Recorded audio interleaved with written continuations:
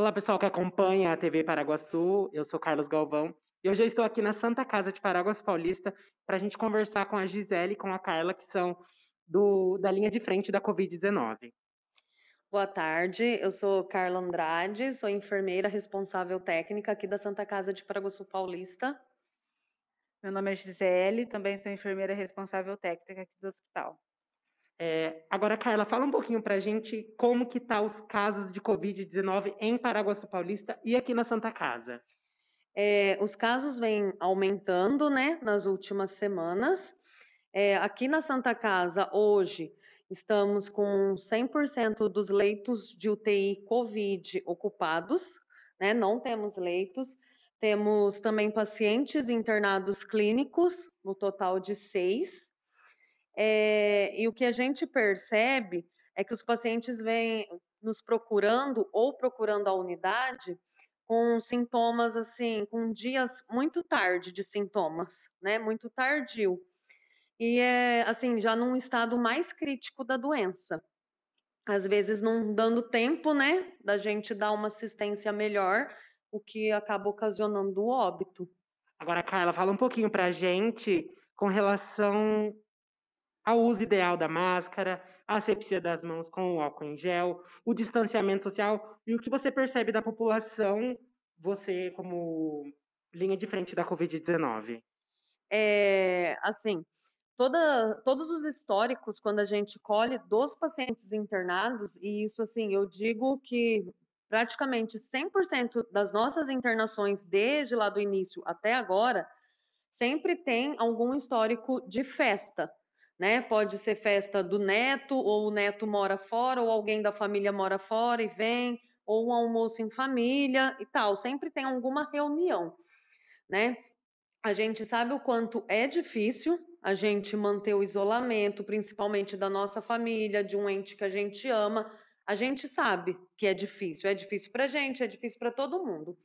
Porém, a gente precisa ter os cuidados, que é o uso de máscara e a higienização das mãos né? Então sempre está higienizando. Se você saiu na rua, voltou para casa, retira a roupa no fundo, fora da casa, já toma um banho, sabe? Deixa um chinelo já para calçar na entrada, né? A gente sempre costuma também até orientar um paninho com hipoclorito ou até mesmo que boa na entrada da casa para a hora que está entrando e sempre está higienizando mesmo.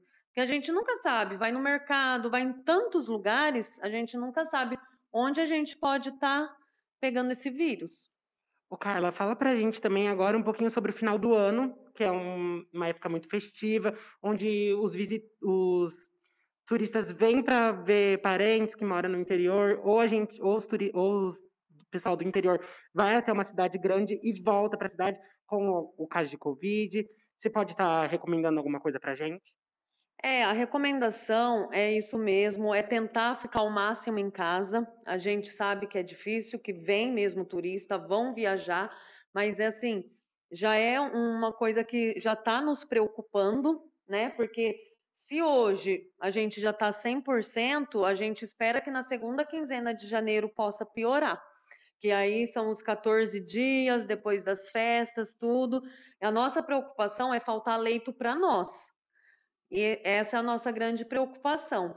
E a preocupação também com os nossos profissionais, né? Tanto os que estão no Covid, em todos os lugares, profissionais da saúde, a gente está direto, né, com os pacientes. E faltando leitos para gente, às vezes, assim, tanto se a gente se contaminar é arriscado, mas também a saúde mental de cada colaborador também nos preocupa.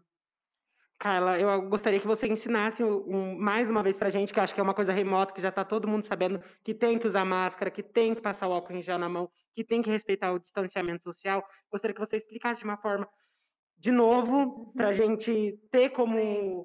saber fazer certo, da maneira correta. Sim, o uso de máscara a gente vai usar, né? Agora já é um acessório, né? Acho que né, todo mundo já está acostumado. Então, sempre tá com máscara, sempre levar é, um saquinho para estar tá armazenando, nunca tocar para o lado de fora, sempre retirar pela alça, né, para não estar tá contaminando. Né? Máscara de pano, molhou, tem que trocar, né, não pode estar tá usando a mesma. É, sobre a higienização das mãos. A higienização das mãos não é simplesmente só lavar a mão, esfregar e pronto. Não.